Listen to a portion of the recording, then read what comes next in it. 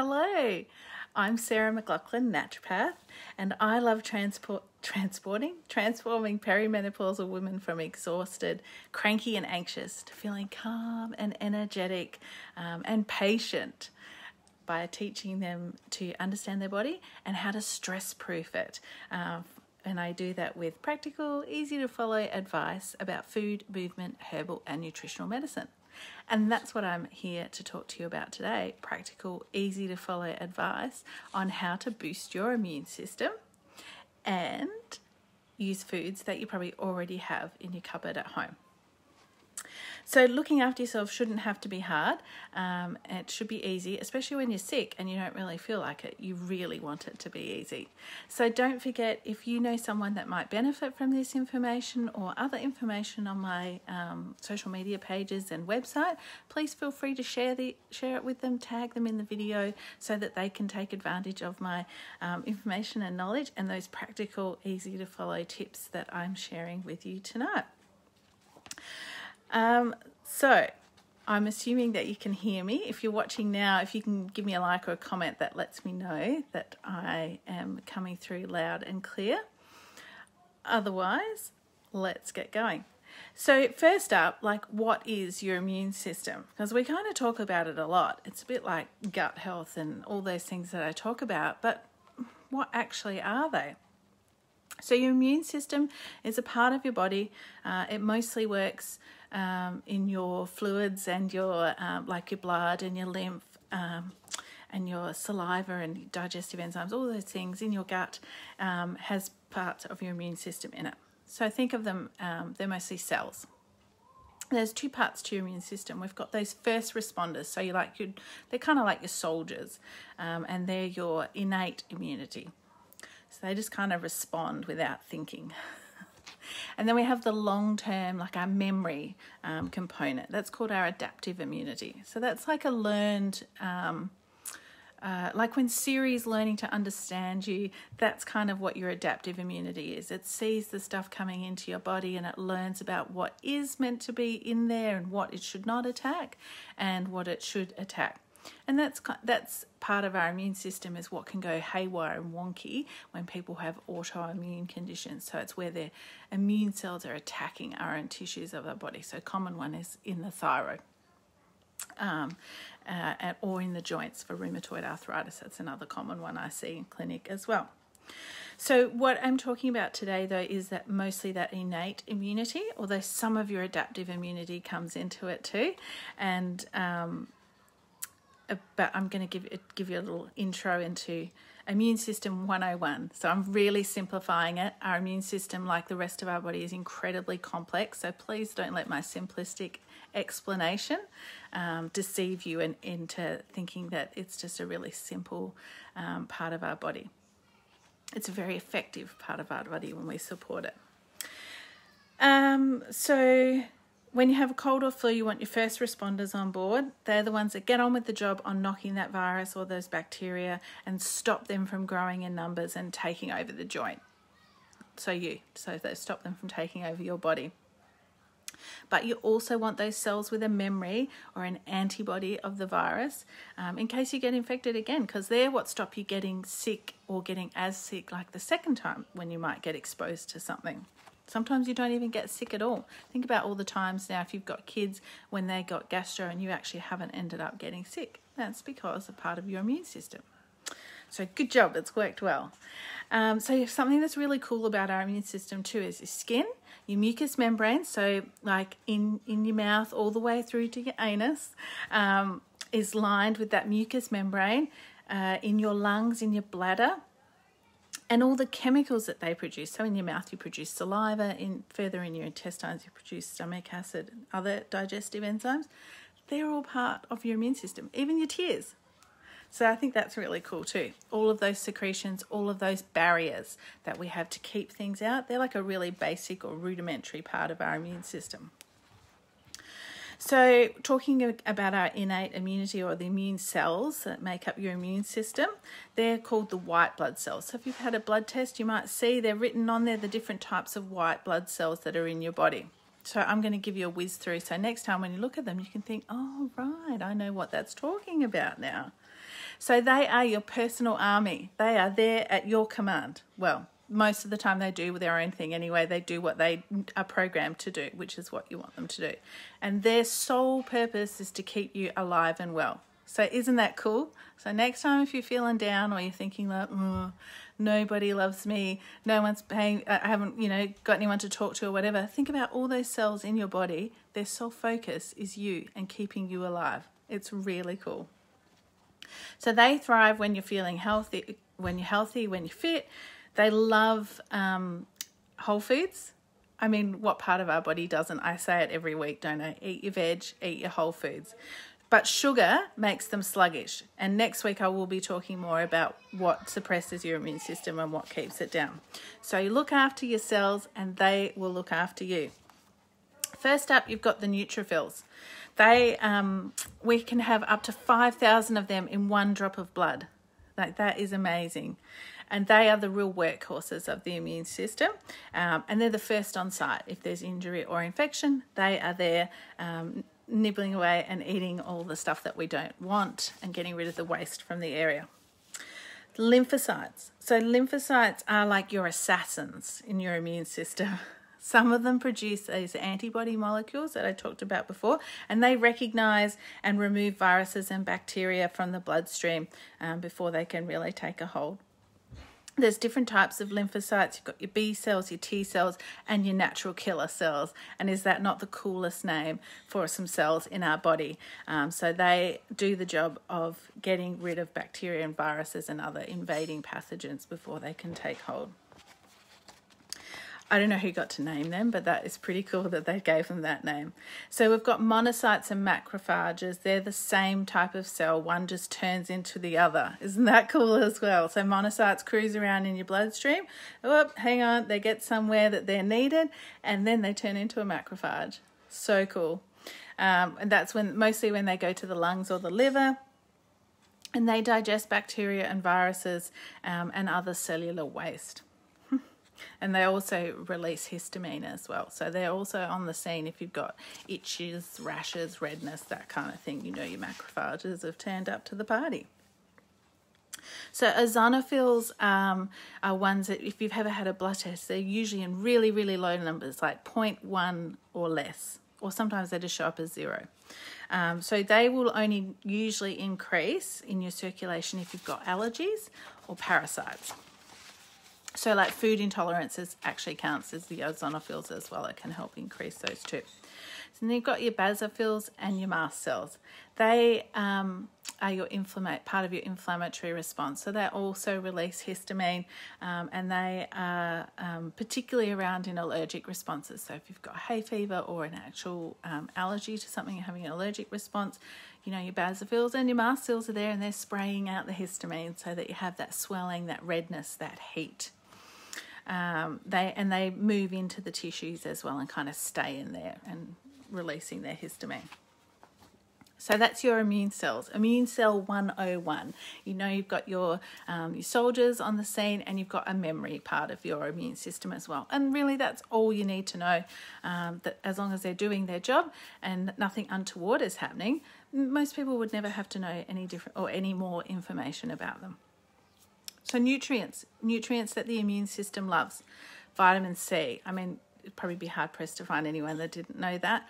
Um, but there's other what we call bioflavonoids that help support and refresh the action of vitamin C in your body so it can keep going for longer um, with its antioxidant and, and anti-inflammatory action. And vitamin C is actually also a natural antihistamine as well, so it can really help settle that inflammatory response the other bioflavonoids that you might see if you've got a vitamin C supplement and you turn it over, you might see it has um, quercetin and rutin or hesperidin in it. So they're like other bioflavonoids that support vitamin C.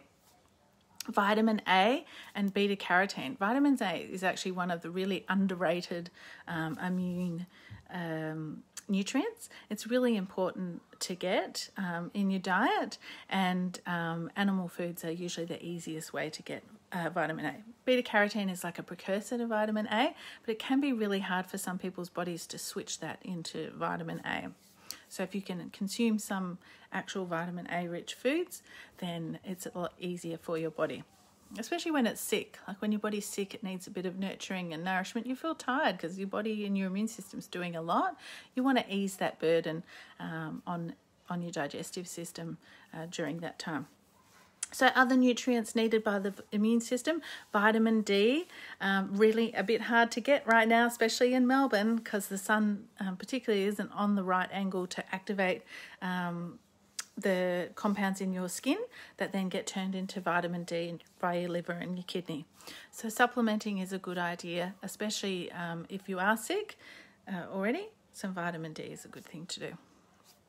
Vitamin E, your immune system needs lots of that when it's busy fighting something, um, and minerals like zinc and iron and selenium. So, um, zinc is important from top to toe, um, but really used a lot by the immune system as well. And same with selenium because they're used to make lots of antioxidant compounds that your liver and your body makes. So you also need plenty of the other building blocks that your immune system uh, or your whole body uses, but your immune system does as well. So that's protein, your healthy fats, and the and the range of B vitamins or the B complex vitamins as well. So the easiest way to get that. is a whole foods diet. Like it's, I say it all the time, and I'll probably keep saying it every week of the life. There really is not much that a whole foods varied and seasonal diet can't meet for us. However, there's some foods that are immune stimulating or immune modulating. They help, really help support your immune system to do its job um, and to get on top of it and any viruses going around. Um, and the reason that they often are immune stimulating is because they contain lots of those nutrients that I just talked about, lots of antioxidants and lots of other plant chemicals that are, that help support our immune system and and help it make the cells that it needs to function and fight any of those invading pathogens. So, yesterday I shared a graphic on social media and it had eight different things on it that are really important for your immune system. Um, I'm going to go through them in a little bit more detail, plus some others as well. So water. Water is is alongside that whole foods diet that I'm always talking about. I'm always telling people have a drink of water, including my kids. If there's anything wrong, have a drink of water. but keeping your fluids up is really important, especially when you're sick, um, because it can help. Uh, your water help is used by your body to help remove waste um, from the body through your lymphatic system and then to your liver and kidneys and, and out of the body. So if you don't have enough of that of water, you're not going to be able to move that waste out of your body, and that's sitting, particularly in your lymph glands, um, where if it's bacterial or virus matter, it can replicate, and you know you get your swollen lymph glands. You've got lots of cellular waste in there. Um, water is also useful for transporting minerals in and out of the cells. So we really want plenty of that there because we want the cells to be able to have what they need to fight a virus and fight fight off the bacteria. And the other thing as well, if you don't have enough water, if we're not drinking enough water and we're dehydrated, you lose blood volume. And that makes it harder for your body to get oxygen to all the cells of your body. So you end up feeling more tired uh, and more lethargic than what you would have already felt when you were sick. So you want to keep your fluids up and particularly warm, like it doesn't have to be hot like hot cups of tea or whatever, but warm water rather than cold water is better, especially if you have a cold or virus. It's just easier on your body. It has to do less to warm it up to your body temperature. Um, so you can just take that um, just ease the burden or ease the load for your body by drinking your fluids at room temperature or warm. So, following on that theme of water, soups and broths. Um, soups and broths help with your fluid intake. They, um, but you know, with that theme, I should add stews and casseroles to that as well. Um, slow cooked, easy to digest warm foods, you know, use herbs and spices, use chili even to help really warm them and get your body warmed up and going along when you're having soups and broths made with, um, you know, protein rich or animal based, say bone broth is very popular at the moment, and there really is a good reason for that because um, it does wonderful things in our body. They are protein rich, then, so they're a good source of protein, vitamin A, zinc. They help keep you hydrated. The warm fluids help clear the congestion because they're, you know, steaming up through your nose. Um, and like I said before, there are bone broths are really popular at the moment. And if you don't want to make your own, you don't really have to. There's plenty of um, available in the shops. Um, I have some in my online shop the broth paste as well. But it's important to look like I was looking at one the other day in the shop, a pre-made like liquid one, and it had really gross ingredients in it. Like that's not gonna that's not wholesome. It's not gonna help you um, feel better and, and get better more quickly it's actually detracting um, from your health. So you want to look for one that's you know made with bones or made with meat, vegetables, herb spices. It'll have a bit of salt and water in it as well. Um, so there's really no need for the weird stuff. Worst comes to worst, I've got on my blog um, the recipe for my whole chicken and vegetable soup. It's perfect for when you're sick. Makes a giant batch. Eat it all week for lunch and dinner if you want, if you can't be bothered cooking anything else. And actually, that's what we're having tonight for dinner because I've been a little unwell and I've been really craving it. And also, it's so easy, just literally chuck everything in the pot and come back later. Uh, and that's really what you want when you're sick. So herbal teas, um, herbal teas like yarrow, elderflower, um, and peppermint is a traditional blend. I've got a twist a version of my of that on my website on my shop. Um, yarrow, elderflower, echinacea, and peppermint. So yarrow and peppermint are very good at boosting a fever if you need your fever boosted, or helping your body bring it down if it's too high. The elderflower has a real affinity for the upper respiratory system, so clearing that congestion, um, you know, runny eyes, itchy eyes. Um, it helps soothe all of those things for you as well. And the echinacea, echinacea is really good at helping to boost your white blood cell activity. You do tend to have to drink echinacea for a couple of weeks for that to happen, but also it will work on the short term as well to help your lymphatic system, which is part of your immune system as well, which moves waste out of the body, and it will help boost your immune system in other ways as well. I mean, really, you can't go wrong with herbal teas. Even if you slice a bit of ginger and chuck it in a cup with a squeeze of lemon, a little tiny bit of honey, uh, and some warm water. What a soothing drink for you. It'll soothe your throat um, and it'll help clear congestion. It's anti-inflammatory, antioxidant. There's vitamin C from the citrus in there. Like it's magical. It doesn't have to be complicated or hard. That's really what I love about naturopathic care and herbal medicine, particularly, is it doesn't have to be complicated. It can just be what you've got in the cupboard or what you've got um, in the fruit bowl already. So, speaking of veggies and fruit and spices, um, you want to go for colour. So, there's a wide variety of nutrients in them. Um, particular veggies and fruit of note are the brassicas or the cruciferous vegetables. So, think broccoli, cauliflower, bok choy, pak choy, cabbage, kale. Um, Brussels sprouts, they're in season now. Radish, too. Um, they're all in the brassica family. They have a lot of sulfur compounds as well as that they are very colourful, so they'll have lots of coloured compounds that your body will like. Kiwi fruit, blueberries, citrus fruits, rich in vitamin C, brightly coloured compounds in there too um, that your immune system and your gut loves. Um, avocado, leafy greens, onions and leeks also contain um, sulfur, but contain um, uh, beta carotene, vitamin C, and that antioxidant compound quercetin that I was talking about. So, quercetin is really good if you've got that itchy throat or you've got runny nose, runny nose, runny nose, runny eyes. Um, you want those quercetin rich foods there as well. So, onions are particularly good. Apples, green tea, they're all rich in quercetin. So, you want to get those on your plate. Um, and buckwheat, buckwheat too is actually really um, rich in quercetin. So the onions, garlic, brassicas, they contain sulfur, which helps support your liver function. It, and you want your liver ticking along nicely because your liver is the boss at making um, antioxidants for your body. So um, it will help protect your cells from the um, from the from the any damage that waste products from the bacteria and virus from the pathogens, but also from your own metabolism that's going on all the time. So you want to your liver um, going nicely uh, to help support your immune system and your immune health as well. So that's where the brassicas come in as well. Onions and the garlic have their own antimicrobial action. Um, and I'll talk a bit more about garlic in a second. Uh, I wanted to mention mushrooms. Mushrooms are like the fad superfood of the moment, but like they're so humble because they've been around forever and, and they used well, they're reasonably cheap anyway. So you don't have to get fancy with your shrooms.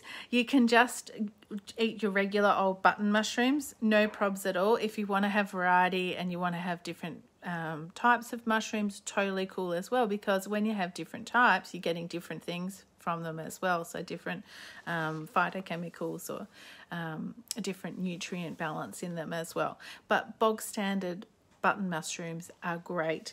And you know what's really cool about mushrooms is that they increase those assassins, the natural killer cells. They get them to be more aggressive against invading pathogens. Like, seriously, how cool is that? It's like a movie. You couldn't even make that stuff up. It's just really cool. Vitamin, uh, vitamin D. Mushrooms also have vitamin D, but they need a little sun bath before they to activate the vitamin D in them. So um, put them in a little bit of sunlight before you eat them to get them um, have to have some vitamin D in there. So mushrooms help your nat- your natural killer cells, your own assassins, get on get on with the job. But garlic is also a pathogen assassin. So it's antibacterial, it's antiviral, it's antifungal. Like it's been revered for a very long time. Um, it's good if you can use it fresh, but you can also get um, supplements of garlic that are less stinky. So I would suggest if you are going to do the garlic thing, make everyone in the house eat the garlic. And at least with physical distancing and lockdowns and stuff at the moment, it's okay. We're not going to be um, out and breathing on workmates so much. There's a lot Zoom can do, but it can't transmit your garlic breath, so that's good. so you want to just crush your garlic a bit first and leave it for a few minutes before you you can either swallow the clove whole or use it in your cooking. When you crush it or, or chop it um, and then leave it, it helps activate the alice the compounds in it. You want lots of allicin in it. That is what makes it a pathogen assassin. So honey, um, beautiful, soothing honey. Like you just have to think about how nice it is if you have a, you know, when you lick the spoon after you've drizzled it on your porridge or whatever, and you feel it slide down your throat. How soothing and demulcent it is. So that's one of the things that makes honey awesome is that it does kind of coat your throat. So if you have a tickly cough or a, a dry, itchy throat, a little bit of honey off the spoon, let it um, slide down your throat is really soothing and will help reduce that cough. Um, you might have seen Manuka coffee. Manuka coffee. Where's my brain at? Manuka honey. And so Manuka honey describes the plants that the bees have um, taken the pollen from, and it is a native to New Zealand, and um, it was in in the past only found in New Zealand. But however, I'm not sure if that's the case so much these days. So if you can get Manuka honey, that has more of an antimicrobial, antioxidant, anti-inflammatory action. But if you can't, even just raw local honey is um, is fine and will do a super job. And like I said, you can add it to some warm water with the juice of half a lemon and a half a half a small teaspoon of honey, stir it in and drink that and it'll really it'll coat all the way down and it'll just be really soothing and loving for you loving lovely for you as well in your throat. So the last food that you might already have in your cupboard, um, and if not, it's easily and widely available these days because um, which is pretty awesome, really, because even like probably 12 months or 18 months ago, you couldn't get lots of these things around. Now we have have wide availability and lots of choices in them too. So, probiotic and prebiotic foods. Prebiotic means it's food for the bacteria, so like your good bacteria in your gut. Um, and if you're eating a varied and um, vegetable rich diet, you have lots of prebiotic foods already in your diet. But you can use probiotics, um, probiotic rich foods like yogurt, kefir, um, kombucha, sauerkraut, um, or any other ferments like you might see kimchi around and, and various um, things, just whatever fermented vegetable you see. Um, you can use them to help support the health of that mucous membrane um, via its action on the microbiome. So that we have microbiomes not just in our guts, but we actually have them in our sinuses, in our lungs, in your bladder, um, anywhere that you have a mucous membrane, basically, you have a microbiome. And they can help um, crowd out the the the baddie. So when you use the probiotics as well, you they they can help trigger your immune system to to start responding and to get on with the job, and they can also help to soothe your immune system. So it is actually quite important which strain you choose. So if you are going to choose a particular probiotic rather than just a probiotic food, please do talk to someone that is um, qualified or um, understands that there's different strains and different species are important for different jobs in your body as well.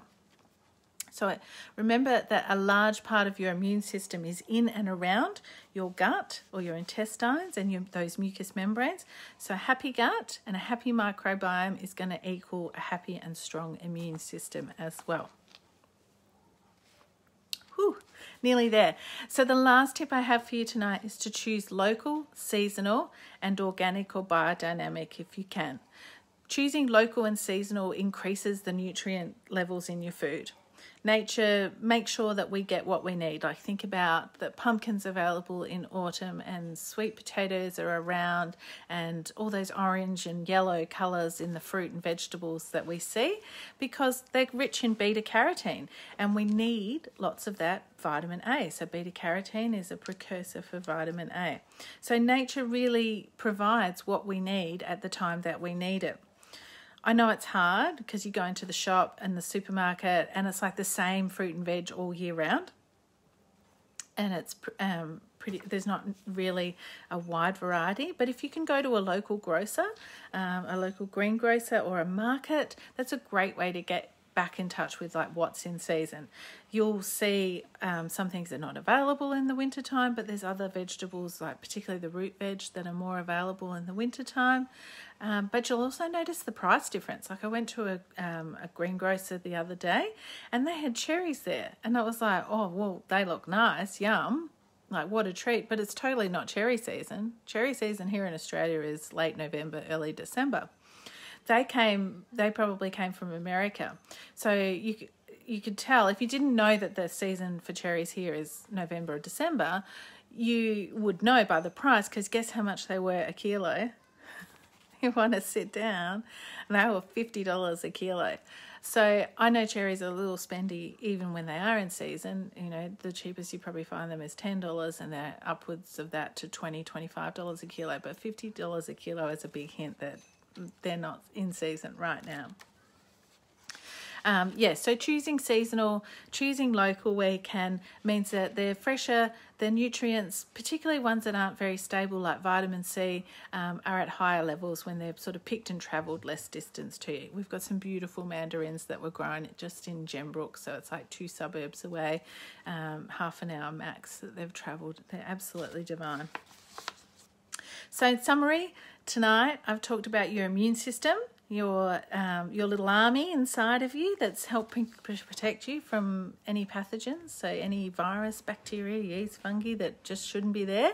Um, the nutrients that are needed by your immune system. So, we've talked especially a lot about vitamin A and how important that is um, in your body, but vitamin D is one that um, people are becoming more aware of. So, it's a little harder to get that at this time of year. So, you might want to think about supplementing. Please talk with a health professional um, before you do start um, supplementing. Oh, my head just went blank.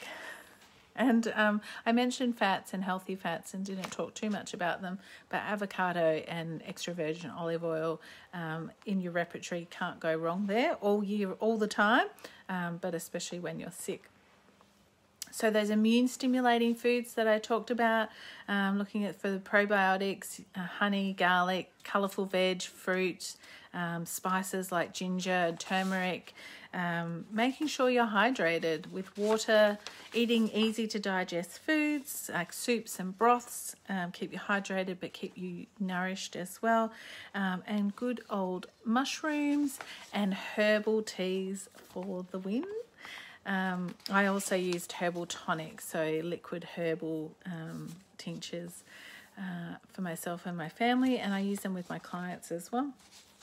So if you've hopped on late, you might want to go back to the start when the slide is available um, and have a listen so you get all those details, especially about those immune cells and do immune system 101 with me tonight. Um, next week I will be live again on Tuesday, and I'm going to talk about what depletes or what suppresses your immune system, and um, to as part of this series on your immune health. Um, if there's any other topics that you would like me to cover, then please send me a message or um, drop it in the comments and let me know because I'd love to cover something that's interesting to you or um, is super relevant to you. If you would like some acute short term symptom based naturopathic care, a little bit of TLC for your immune system, or a bit of preventative care, um, then please get in touch. My acute consults are still um, available. They are via Zoom at the moment um, and good old Australia Post, or you can pick up if you're local if there's any remedies, tonics, or teas that you need. Um, but yes, they're always free and always available. Um, it doesn't matter if you're far away, you can still book in and use them. So you just need to go to my website and to my booking calendar and find a time that works for you on a Friday or Saturday. Um, please always let me know if you can't find anything that suits you because I can always squeeze you in or um, move my calendar around if need be. So, yeah, don't forget that I'm here to help you um, understand what's going on in your body and how you can use your food and the other things in your cupboard at home to help um, feel better uh, quicker, because that's what ultimately what we all want, isn't it? Um, and until next time, thank you for joining me tonight, and I'll look forward to seeing you next week. Bye.